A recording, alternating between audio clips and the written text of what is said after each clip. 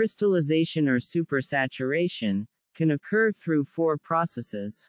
It can be crystallization by cooling, crystallization by adiabatic cooling, crystallization by evaporation, and crystallization by adiabatic evaporation.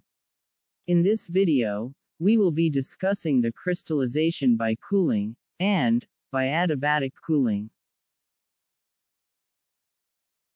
The feed enters, with a solute fraction, XF, and a temperature TF. After crystallization, there will be two outlet streams, the mother liquor, and the crystal hydrates. The mother liquor exits with solute fraction XL, and a defined temperature, TL. The crystal hydrates, exits with solute fraction Xc, and temperature Tc. In crystallization by cooling, water is present as the cooling medium. It enters with temperature T1, and exits with temperature T2. Some examples of equipment, in crystallization by cooling, are pan crystallizer, agitated batch, and Swenson Walker. The difference with crystallization by adiabatic cooling is that no cooling water medium is present. Some examples of equipment are vacuum crystallizers and cooling crystallizers. These are the equations for crystallization by cooling. We have overall material balance, solute material balance, heat balance, and enthalpy balance. Please take note of this equations.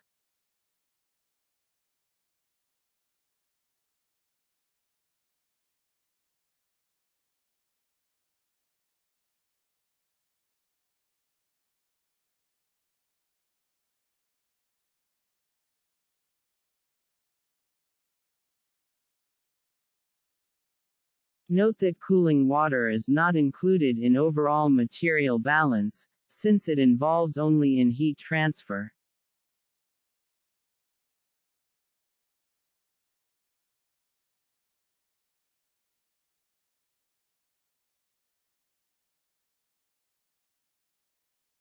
This is the solubility data from Perry's. We can obtain the solubility of the solute at a temperature of the solution, which is TL.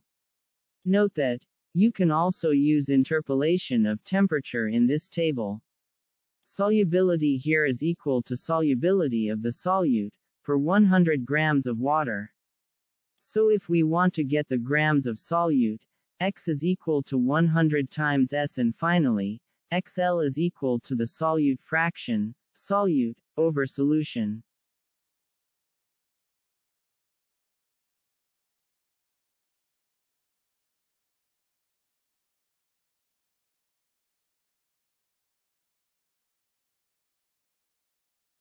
Heat here, is the heat of solution, take note, that heat of solution, is negative of heat of crystallization.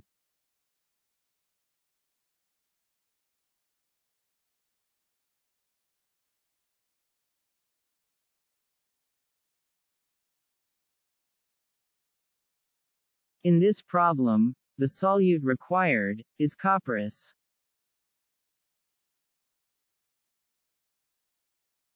Let's solve first for solute fractions.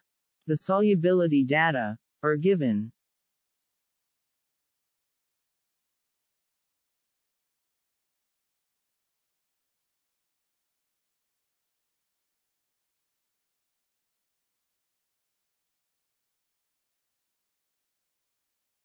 Using heat balance, we can calculate, for the required cooling water.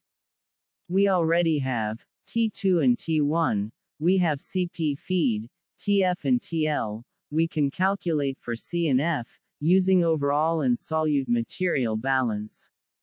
For the heat of solution QC, we can look from the handbook.